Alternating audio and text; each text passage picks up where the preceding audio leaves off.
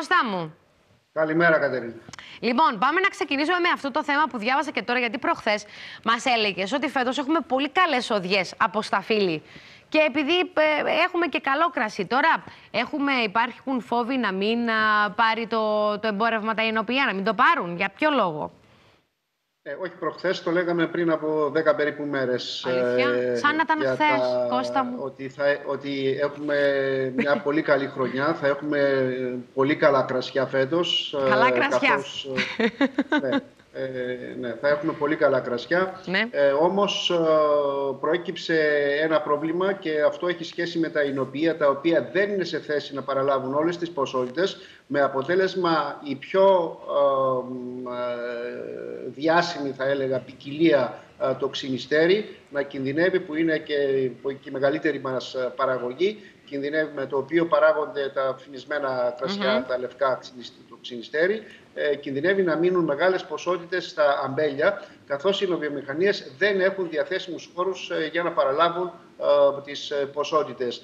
Ήδη ε, έχουν Δεν έχουν ειδοποιηθεί διαθέσιμους χώρους, εννοείς... δεξαμενές. ε, Γιατί, δεξαμενές. γιατί; Διότι έχουν αποθέματα από τις προηγούμενες ε, χρονιές Α, ε, μάλιστα. λόγω και της ε, πανδημίας ε, και δεν έχουν τη δυνατότητα να παραλάβουν και είχαμε ε, και υψηλότερη παραγωγή από αυτή που είχε προβλεφτεί ε, με αποτέλεσμα να κινδυνεύουν ε, να έχουν κάνει τον κόπο ε, και τα έξοδα ε, οι αμπελουργοί για να φτάσουμε στο σημείο του τρίγου και τώρα που έχουμε φτάσει και είναι, ε, πρέπει να ξεκινήσει ο τρίγος ε, για το ξυνιστέρι δεν έχουν ε, τη δυνατότητα παραλαβής.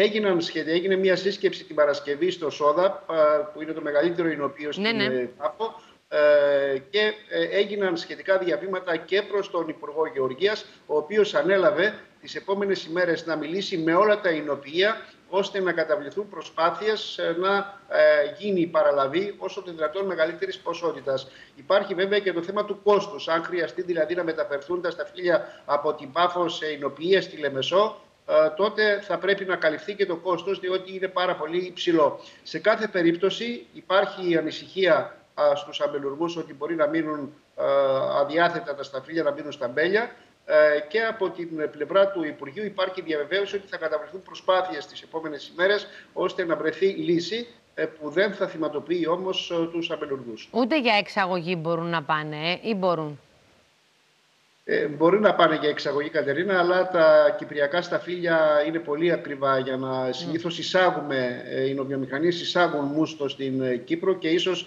να είναι ένας από τους λόγους ε, για τους οποίους μένουν αδιάθετες ε, ποσότητες ε, κυπριακών σταφυλιών γιατί είναι πιο φθηνός, ε, πιο φθηνός ο χυμός που εισάγουν ε, και στη συνέχεια τον ε, εινοποιούν. Αυτές τουλάχιστον είναι καταγγελίες που διατυπώνονται από αμελουργούς. Μάλιστα, μάλιστα.